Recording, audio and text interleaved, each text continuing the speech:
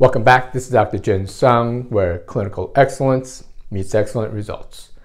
Today we have a very important lecture on vitamin B9, folate or folic acid.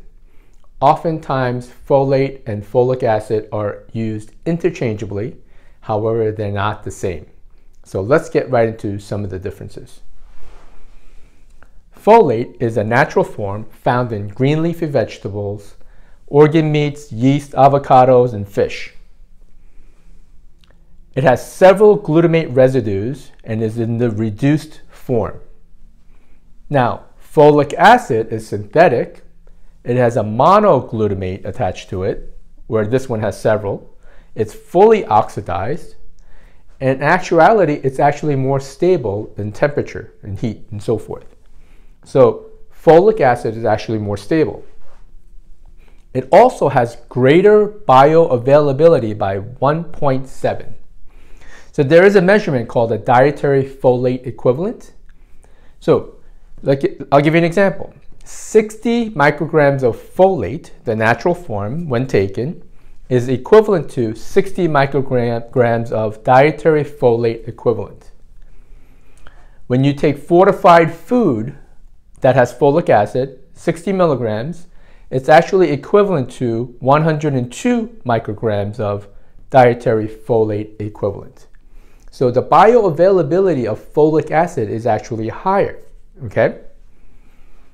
However, folate is converted to the active 5-methyl tetrahydrofolate and it's done primarily in the GI tract and it's more efficiently converted where folic acid converts to the active form in the GI tract as well as the liver and other tissues. So this process of converting folic acid to the active form takes longer, up to 24 hours or longer in order to convert. So what happens? You get a buildup of folic acid in your system.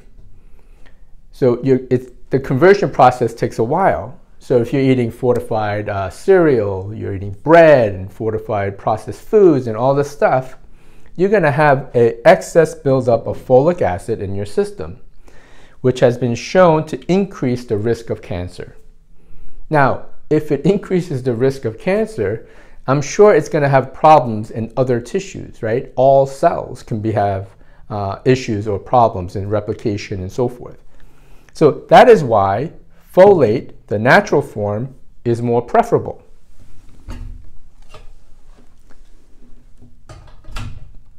Now, causes of deficiency.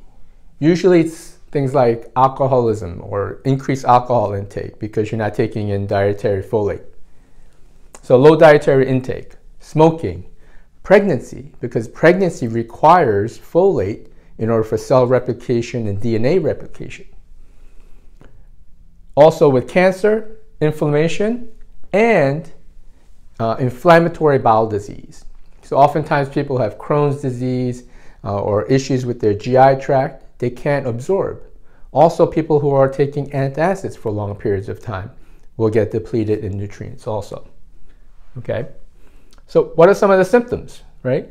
Well, increased homocysteine. That's not really a symptom, but increased homocysteine is uh, increases your risk of cardiovascular disease, right? So it's important to understand that this right here, elevation homocysteine, can increase heart attack and stroke. Also increases the risk of cancer. So here it is, MI, my, myocardial infarction, infarction and, and coronary uh, arterial disease. It also is associated with infertility, migraines, depression, decrease in neurotransmitters, right? You need neurotransmitters to fire your brain to function normally, right? Depression and so forth. Detox issues and anemia. There's a type of anemia that B9, B12, and B6 can be associated with.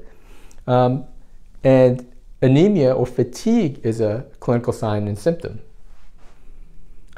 Lab markers, we like to check homocysteine in the blood. And then we can also check MCV or mean corpuscular volume, which can indicate when you have large uh, red blood cells, can indicate megaloblastic anemia. So MCV should be below 92, But when it climbs to 98, 99, or 102, then it can indicate you have megaloblastic anemia and fatigue can be an issue for that patient. So let's recap. Cell replication is very important. Amino acid synthesis, as well as DNA repair.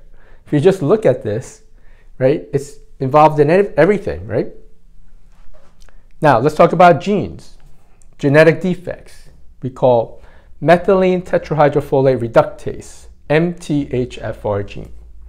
So you can do common blood uh, test markers to look for this genetic defect.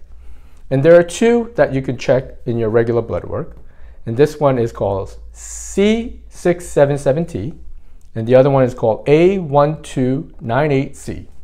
Okay, so there's something called heterozygous and homozygous. Heterozygous means you have one copy of it from one parent. Homozygous means you have two copies of the same gene from both parents. Okay, so if you have this gene right here, and you're a hetero, meaning you have one copy, the efficiency or reduction of uh, efficiency will be 40%. And then if you're homozygous, if you have two copies, it's 75%. And then for this one, the hetero gene has 20% reduction, and the homo gene has 40% reduction. So it doesn't mean that every person has the exact percentage deficiency. It just means that you're genetically predisposed. So it can go up to those types of percentages. So if you're taking fortified foods and folic acid and you're not really getting better, then you have to look and see if you're having issues with this ge genetic defect.